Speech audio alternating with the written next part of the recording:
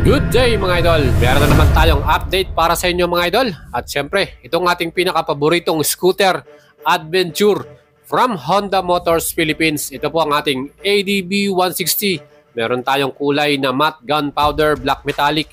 Ito, super loaded at talaga naman po super trending din sa atin ngayon. Marami po talagang gustong bumili nito at marami po naghahanap.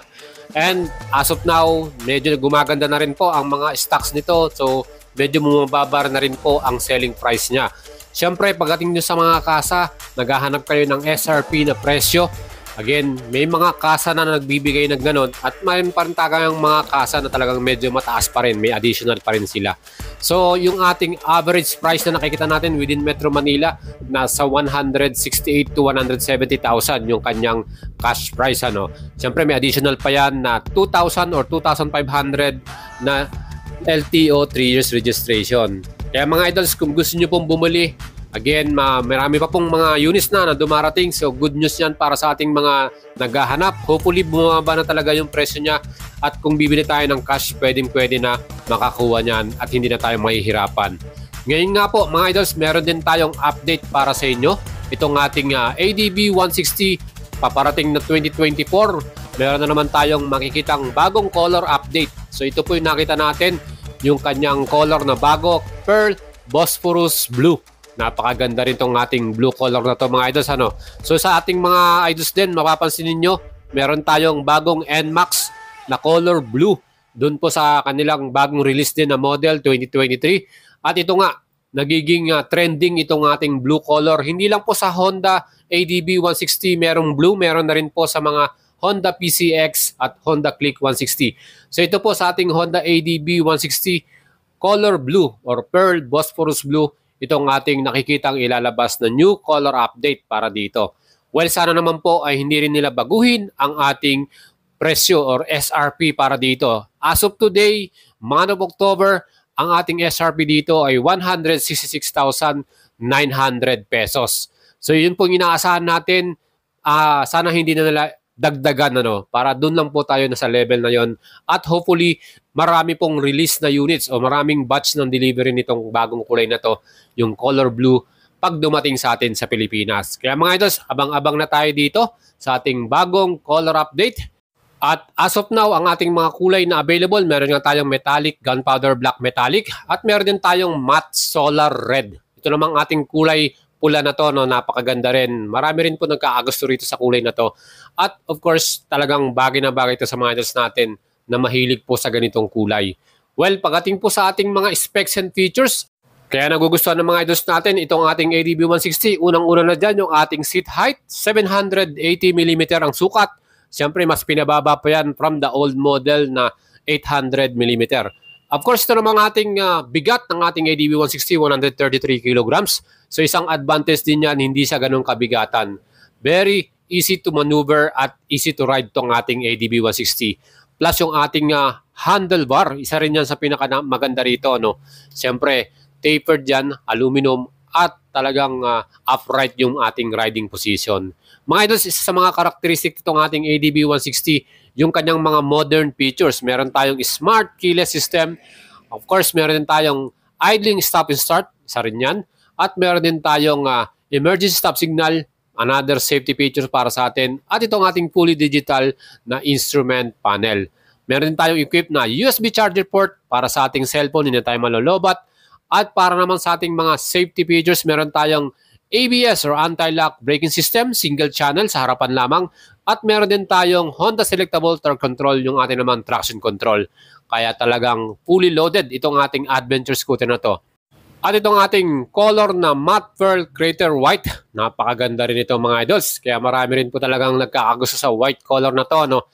Again, itong ating ADB 160 pagating po sa ating engine displacement, yan po ay 156.9cc or almost 157cc single cylinder, single overhead camshaft. Meron tong 4 valves kaya malakas po talaga.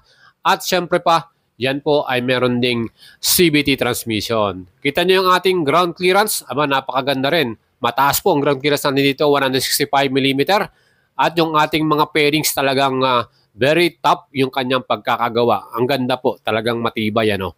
So mga idols natin, ang kanyang bore by stroke ay 60 by 55.5 at ang kanyang compression ratio 12.0 by 1.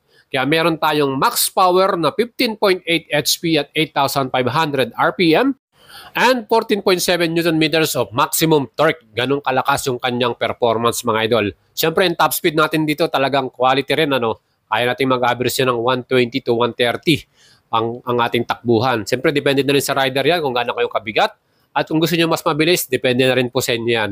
And siyempre, yung ating compartment, ang kagandahan dito, ang laki rin ng compartment nito. 30 liters po ang kaya nating may kargang mga gamit dyan. Yun yung kanyang capacity.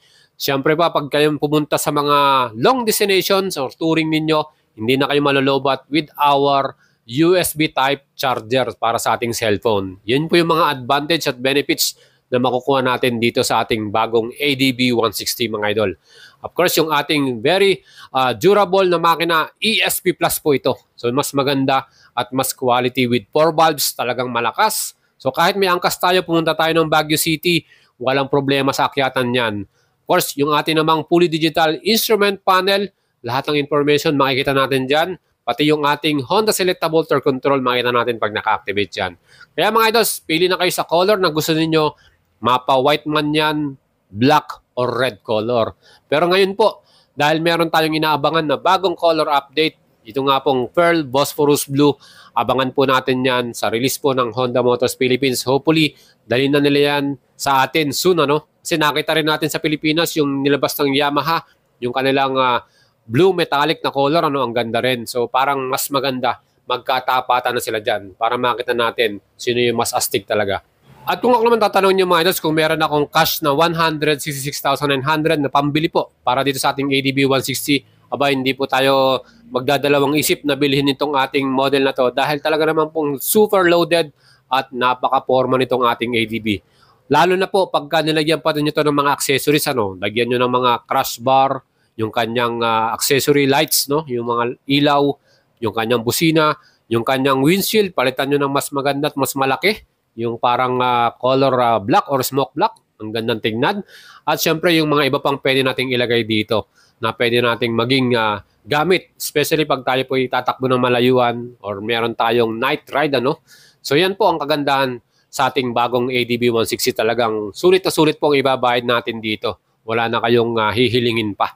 Kaya mga idols, abangan nyo po ang ating uh, latest update. Sigurado pong bibigyan ko kayo ng uh, next vlog niyan pagka yan po ay may final na na uh, release para or launching para dito sa bagong color ng ating ADB 160. Sigurado pong kabang-abang yan dahil magandang kulay din yung pearl Bosphorus blue na yun. Ano? Para sa akin, ang astig ng kulay na yon.